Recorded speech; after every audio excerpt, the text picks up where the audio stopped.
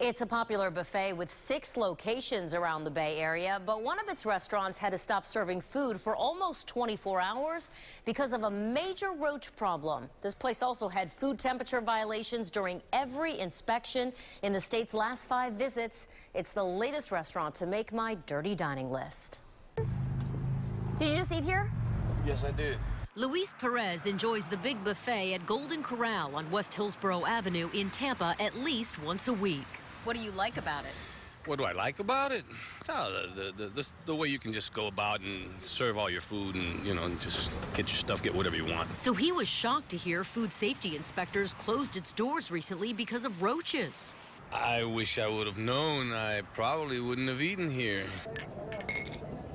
On January 10th, the state found over 35 live and dead roaches under the Asian buffet, cooking station, and reach-in cooler, and roach feces on the buffet legs, equipment, and walls, shutting down the restaurant for almost 24 hours.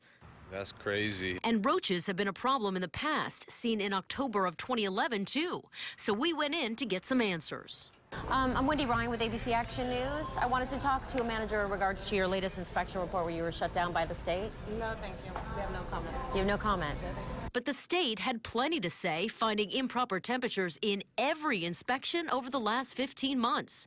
Two weeks ago, guacamole, ham, chicken, eggs, and butter were all well above the minimum 41 degrees, which could make someone sick but I've never been sick, so I can't say that. Also during that visit, inspectors documented 12 high priority and intermediate violations and 47 basic violations under their new grading system.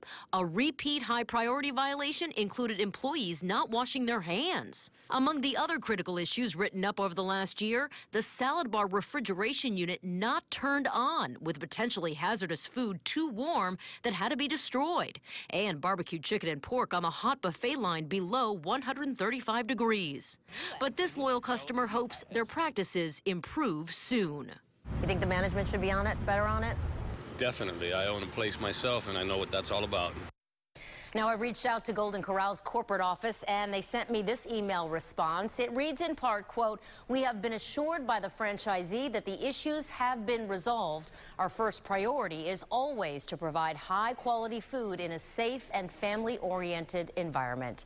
To see the company's entire response and the inspection reports of this restaurant and other dirty dining stories, head over to our website, abcactionnews.com slash dining.